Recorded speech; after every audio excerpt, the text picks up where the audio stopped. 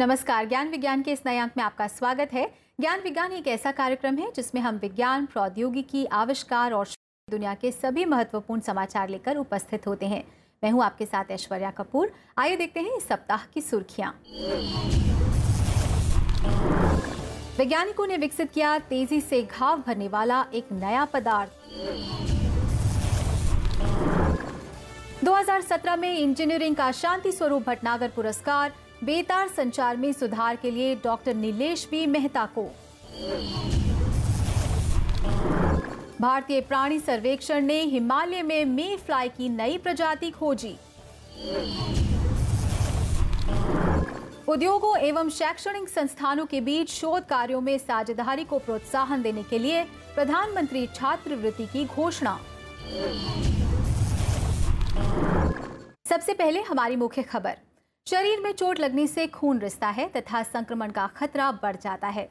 घाव भरने की प्राकृतिक प्रक्रिया धीमी होती है। ये प्रक्रिया दवा तथा प्रतिजीवी युक्त मरहम की पट्टियों से तेज की जाती है।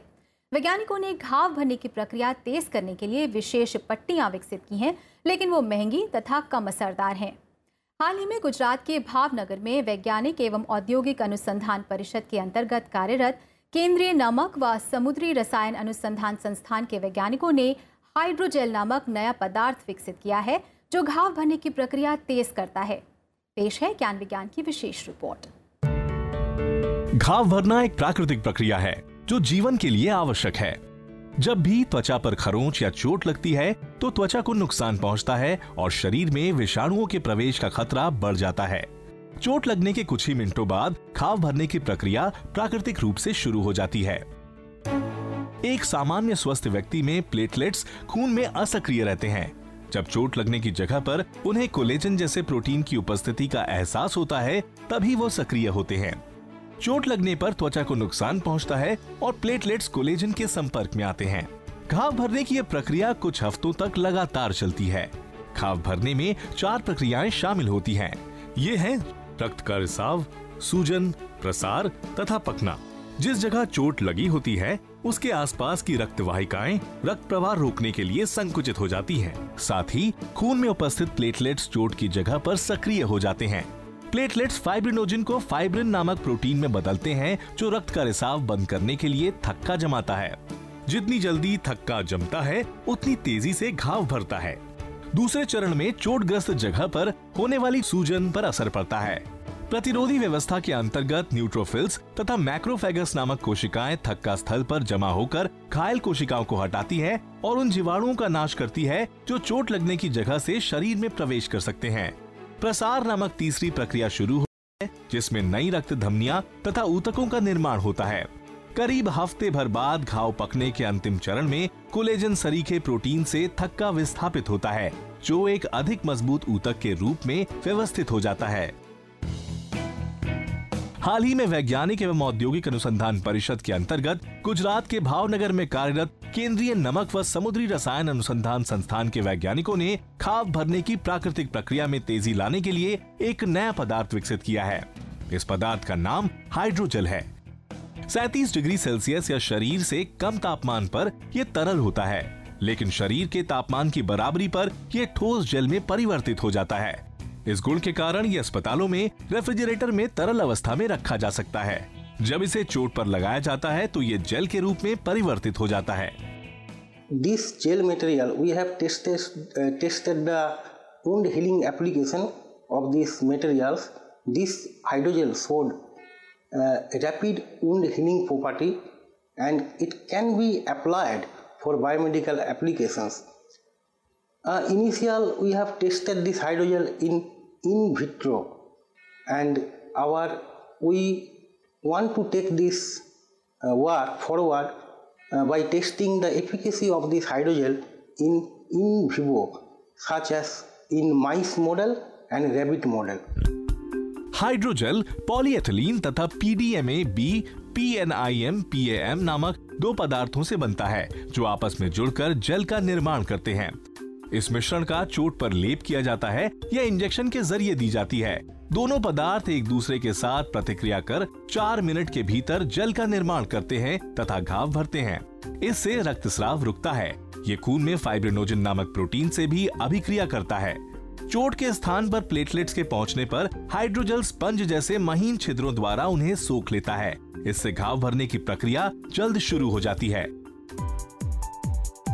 हाइड्रोजल से एक और लाभ है। ये चोट के स्थान पर गर्मी या रासायनिक उत्पाद पैदा नहीं होने देता। इस शोध के नतीजे मटेरियल्स केमिस्ट्री बी अंक 25 साल 2017 में प्रकाशित हुए हैं। इस शोध को शिव नाडर विश्वविद्यालय, जवाहरलाल नेहरू विश्वविद्यालय तथा academy of scientific and innovative research ने संयुक्त रूप से संपन्न किया है।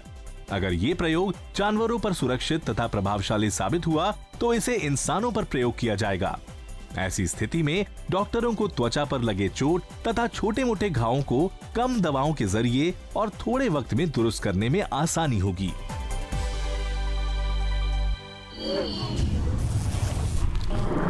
शांति स्वरूप भटनागर पुरस्कार विज्ञान के विविध क्षेत्रों के प्रतिष्ठित वैज्ञानिकों को दिया जाने वाला देश का सर्वोच्च पुरस्कार है। इस वर्ष इंजीनियरिंग के क्षेत्र में शांति स्वरूप भटनागर पुरस्कार से भारतीय विज्ञान संस्थान बेंगलुरु के डॉक्टर नीलेश पी. मेहता को बेतार संचार सेवा बेहतर बनाने के लिए पुरस्कृत किया गया है। पेश है ज्ञान विज्ञान की विशेष रिपोर्ट। अपने स्मार्टफ़ोन से लेकर दफ्तर में वाईफाई इंटरनेट और कारों में जीपीएस नेविगेशन तक रोज़मर्रा की ज़िंदगी में हम कई जगह बेतार संचार का प्रयोग करते हैं। बेतार संचार तकनीकी में बिना तारों का प्रयोग किए डेटा स्थानांतरित किए जाते हैं। किसी कंप्यूटर में वर्ड डॉक्यूमेंट तस्वीरें, श्रव्य क्लिप या सॉफ्टवेयर प्रोग्राम एक उपकरण से दूसरे में रेडियो या सूक्ष्म तरंगों द्वारा भेजे जाने वाले सूचना प्रसंस्करण अथवा संग्रहण को डेटा कहा जाता है। डेटा की मात्रा मापने वाली इकाई को बाइट कहते हैं। दूसरे शब्दों में बाइट सूचनाओं के संग्रह के समान है।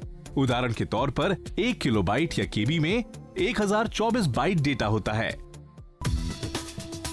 आज भारी मात्रा में एक उपकरण से दूसरे उपकरण में कम कीमत पर डेटा भेजना आसान है, क्योंकि हमारे उपकरणों में 4G या चौथी जनरेशन की बेतार संचार तकनीकी उपलब्ध है। 1980 से पहले सिर्फ़ 1G तकनीकी उपलब्ध थी, जिसके द्वारा बेहद कम मात्रा में डेटा का स्थानांतरण किया जा सकता था। इसके बाद 2G तथा 3G आए, जिससे डेटा स्थानांतरण की रफ्तार 30 गुना बढ़ गई। अब भारत का लक्ष्य 2020 तक बेतार संचार में 5G तकनीकी प्राप्त करने की है। इस स्थिति में डेटा स्थानांतरण की रफ्तार बेहद कम कीमत पर एक गीगाबाइट प्रति सेकंड से भी अधिक हो जाएगी। भारत में विज्ञान के क्षेत्र में दिए जाने वाला शांति स्वरूप भटनागर पुरस्कार इंजीनियरिंग के लिए डॉक्टर नीलेश मेहता को दिया गया है। वो भारतीय विज्ञान संस्थान बेंगलुरु में प्राध्यापक है। उन्हें बेतार संचार के क्षेत्र में बहुमूल्य योगदान देने के लिए इस पुरस्कार से सम्मानित किया गया है जो भविष्य में 5G का लक्ष्य प्राप्त करने में सहायक साबित होगा। It's privilege to get the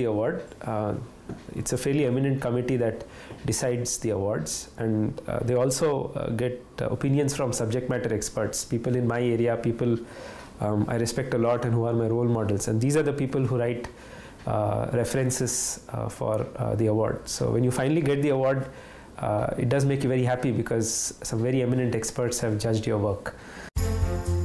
Doctor Nilesh अपनी टीम की मदद से संचार उपकरणों जैसे फ़ोन तथा मॉडेम के डिज़ाइन में सुधार लाकर 5G संचार प्राप्त करने में जुटे हैं। आमतौर पर बेतार संचार में फ़ोन या इंटरनेट मॉडेम नेटवर्क कंप्यूटर से जुड़े होते हैं जिनमें संकेतों का स्थानांतरण एंटेना द्वारा होता है। फ़ोन जैसे वर्तमान उपकरणों में ट्रांसमीटर तथा रिसीवर अलग होते हैं। ट्रांसमीटर नेटवर्क कंप्यूटर को संकेत भेजता है जबकि रिसीवर आने वाले संकेत प्राप्त करता है। डॉक्टर नीलेश एक ही उपकरण के द्वारा भेजने तथा प्राप्त करने की कोशिश कर रहे हैं। ऐसा एक ही चिप में ट्रांसमीटर तथा रिसीवर के प्रयोग से किया जा सकता है। इसके साथ कंप्यूटर की प्रोग्रामिंग में भी सुधार लाने की आवश्यकता है, जिसके लिए असरदार कंप्यूटर प्रोग्रामिंग तैयार किए जा रहे हैं।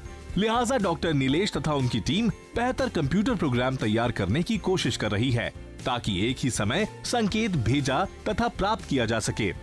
हाल ही में उन्होंने एक नया कंप्यूटर प्रोग्राम विकसित किया है, जो किसी कंप्यूटर में संचार संकेत के प्रसंस्करण से पहले की तुलना में कम समय लगाता है। इससे 5G उपकरण तेज रफ्तार वाले तथा प्रभावशाली होने के साथ साथ आकार में भी छोटे होंगे।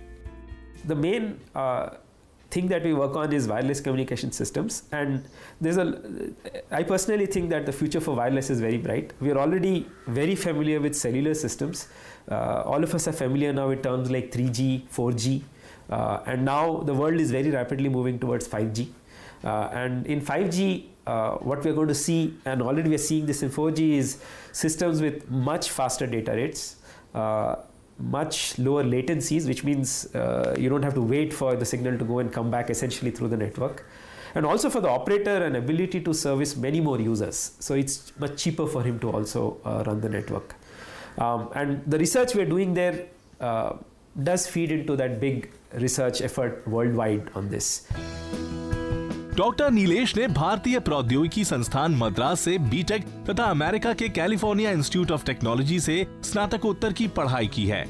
भारतीय विज्ञान संस्थान बेंगलुरु में प्राध्यापक के रूप में कार्य शुरू करने से पहले उन्होंने अमेरिका के प्रतिष्ठित स्टैनफोर्ड यूनिवर्सिटी से पीएचडी प्राप्त की है। उन्हें 2010 में Indian national academy of engineering ने यंग इंजीनियर पुरस्कार से सम्मानित किया है। तथा 2014 में उन्हें एन स्कोपस यंग साइंटिस्ट पुरस्कार मिला है। प्रतिष्ठित पत्रिकाओं में उनके करीब 50 शोध पत्र प्रकाशित हो चुके हैं और वो भविष्य में 5G की अवधारणा को सफल बनाने के लिए प्रयासरत हैं।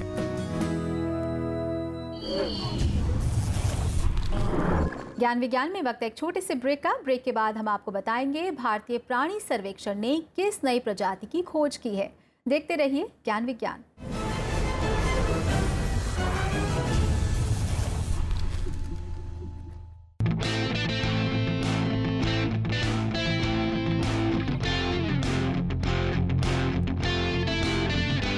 थिएटर में पैसा होता तो शायद मैं सिनेमा में आते ही नहीं। थिएटर में पैसा था ही नहीं अभी भी नहीं। दुर्योधन के संग धनुष पर बाण चढ़ाकर युद्ध यज्ञ में जीव आया मैं पाँव भड़ाकर वैसे ही मैं फिर आता हूँ इस सोने रण में।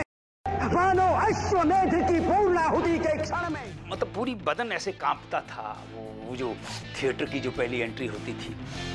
तो वो मैं आज बहुत बहुत ज़्यादा मिस करता हूँ कि वो तो नमस्कार मैं हूँ पंकज बेरी।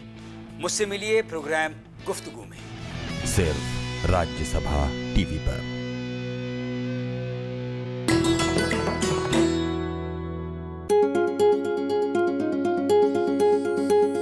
ऐतिहासिक शहर हैदराबाद।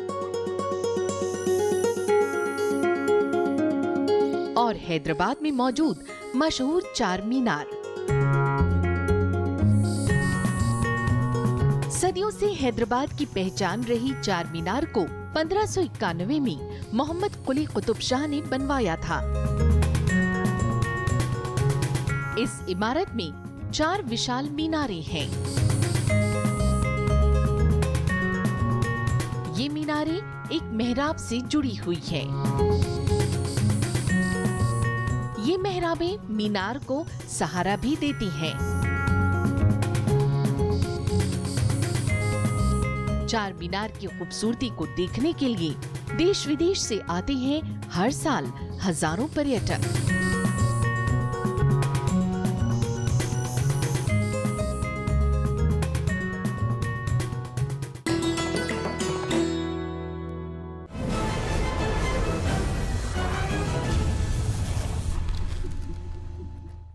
ब्रेक के बाद आपका स्वागत है। मे फ्लाई लंबे समय से जीव विज्ञानियों को आकर्षित करता रहा है। ये कीड़े अपने जीवन का अधिकांश समय पानी में बिताते हैं और सिर्फ़ प्रजनन के लिए धरती पर आते हैं। ये पानी और धरती पर आहार श्रृंखला को जोड़ने की महत्वपूर्ण कड़ी हैं।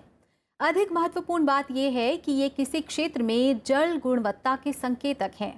हाल ही में भारतीय प्राणी सर्वेक्षण के एक सर्वेक्षण ने हिमालय में मे फ्लाई की नई प्रजाति खोजी है और इस बात की पुष्टि की है कि ये प्रजाति स्थानीय है। पेश है ज्ञान विज्ञान की एक दिलचस्प रिपोर्ट।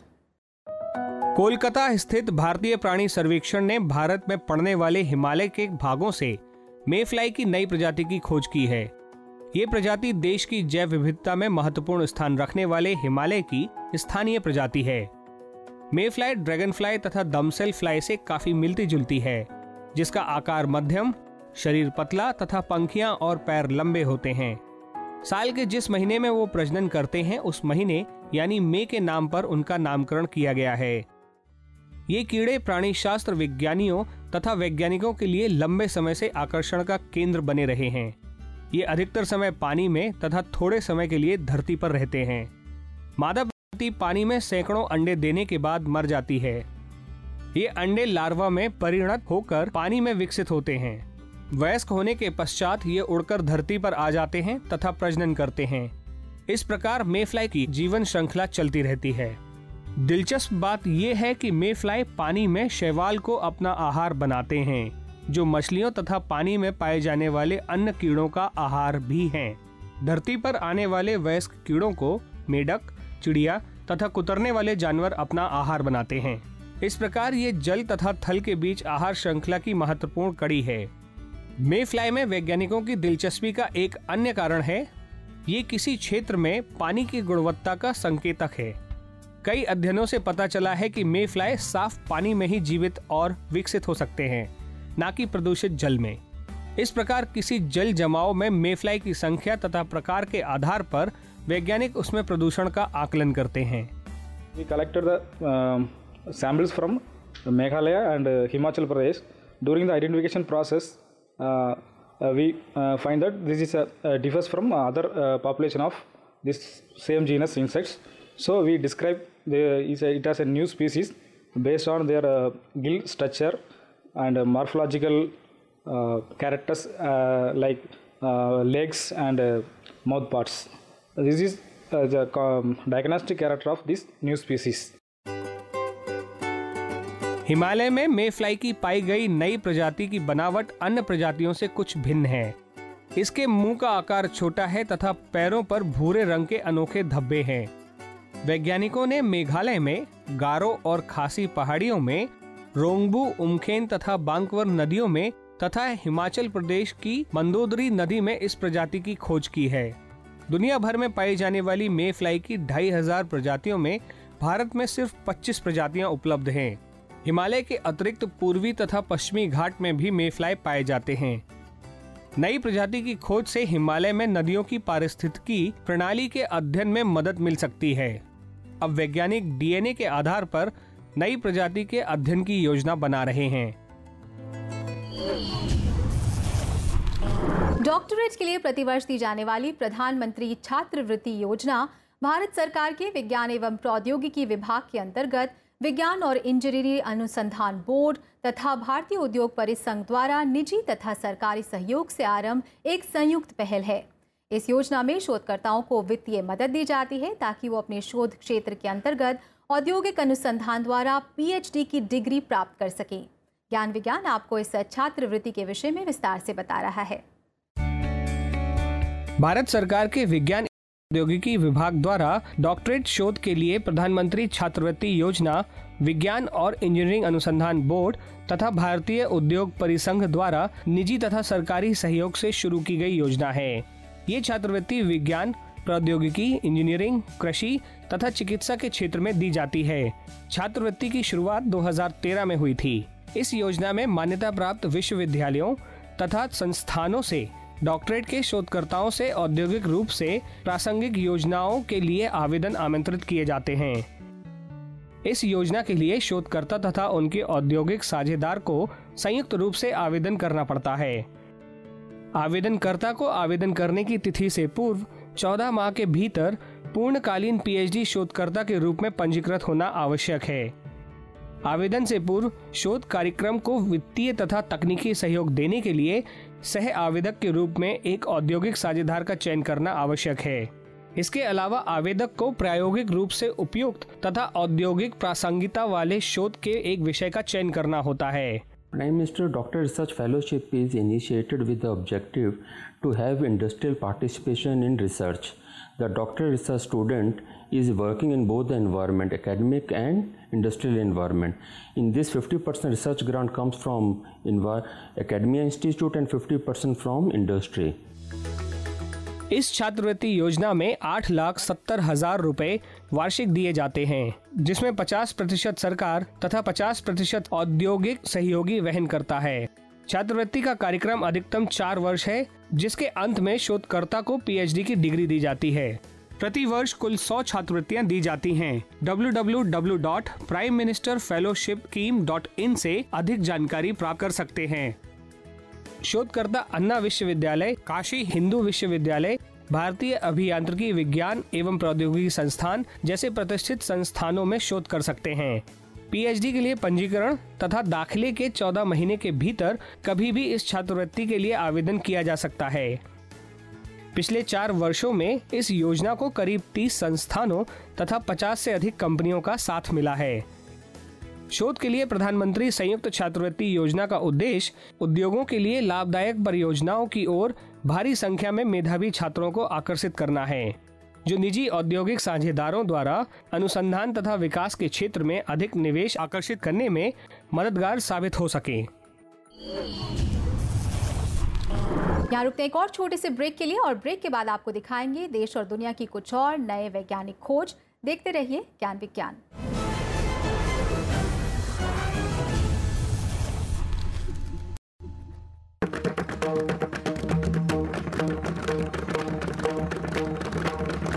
बाज का एक अलग ही रंग। कलाकार जो कई विधाओं में है माहिर। पता नहीं क्यों किताबों में भी लिखा है पखावत पुरुष प्रधान है। और बेटियों को सशक्त करने के लिए उन्हें दे रहे हैं पखावज वादन की तालीम। महिलाएँ सारा काम करती हैं। चाँद पे जा रही हैं पायलट हैं तो पखावज की इस खेत की मूली है? सिखाने का एक मेन उद्देश्य वो है कि लड़कियाँ भी इसमें आगे आना चाहिए और आ रही हैं। मिली शख्सियत में मशहूर मारो पखावज वादक अखिलेश गुंदेचा से सिर्फ़ राज्यसभा टीवी पर।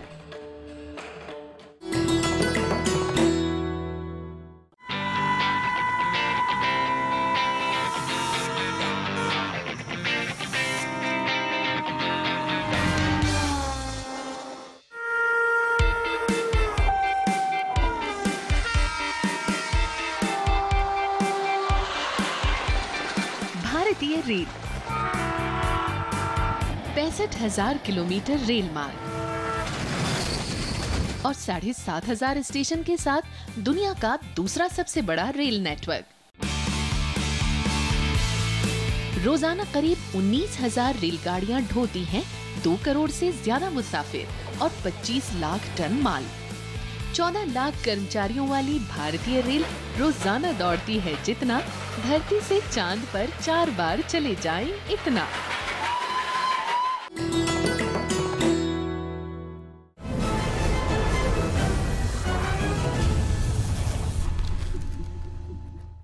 ब्रेक के बाद आपका फिर से स्वागत है और आइए अब तेज रफ्तार से नज़र डालते हैं देश और दुनिया की कुछ और दिलचस्प वैज्ञानिक गतिविधियों पर। इंडोनेशिया के अधिकारियों ने गंभीर चेतावनी जारी कर ज्वालामुखी से प्रभावित होने वाले संभावित क्षेत्र को खाली करने को कहा है। उन्हें बाली के माउंट एगंग में ज्वालामुखी विस्फोट का अंदेशा है। पहाड़ से निकलने वाला काला धुआँ तथा राख 11,150 फीट की ऊंचाई तक पहुँच रहा है। अधिकारियों ने आसपास रहने वालों को चट्टानों तथा मलबे से दूर रहने को कहा है जिन्हें लहार्स कहते हैं। इन्हें पहाड़ की ढलान से नीचे आते हुए देखा गया है। अंतिम बार माउंट एगंग ज्वालामुखी उन्नीस में फटा था, जिसमें करीब 1000 लोग मारे गए थे। भारतीय प्रौद्योगिकी संस्थान रुड़की में शोधकर्ताओं ने जैव ईंधन के उत्पादन के लिए एक नई तथा कम लागत वाली विधि तैयार की है, ताकि देश में ईंधन की बढ़ती मांग पूरी की जा सके। आईआईटी रुड़की के शोधकर्ताओं ने वाहन में प्रयुक्त जैविक डीजल उत्पादन के लिए पहली बार कच्चे ग्लिसरॉल का प्रयोग किया है।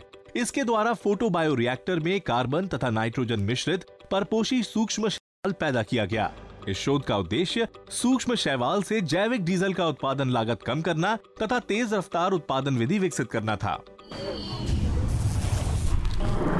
एक नई जीन थेरेपी आँखों से लाचार लोगों को दृष्टि देने में सफल रही है, जो रेटिना की जन्मदात बीमारी से पीड़ित थे। इस बीमारी को लेबर कंजेनिटल एमोरसिस या एलसीए भी कहते हैं।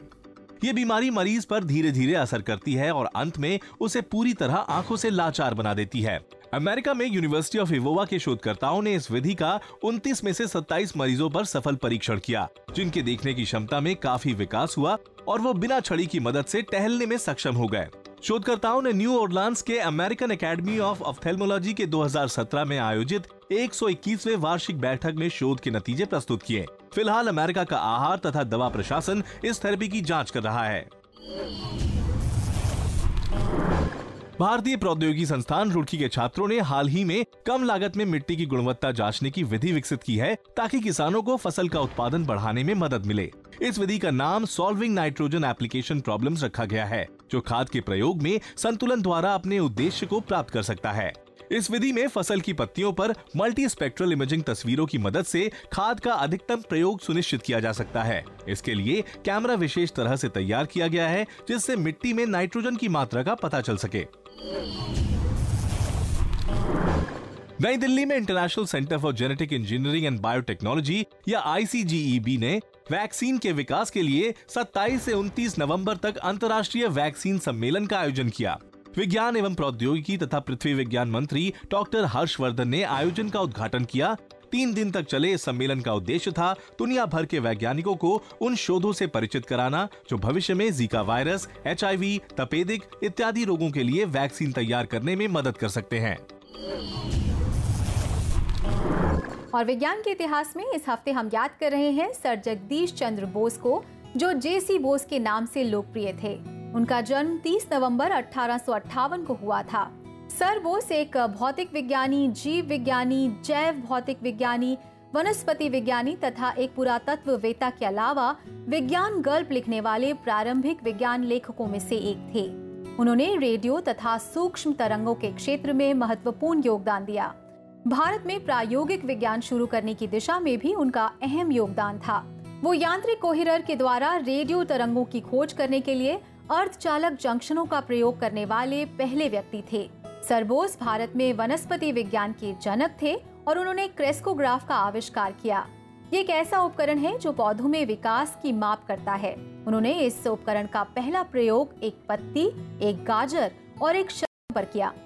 इस उपकरण के द्वारा उन्होंने खाद सूर्य प्रकाश तापमान तथा बेतार तरंगों के प्रति पौधों की प्रतिक्रिया पर शोध किया।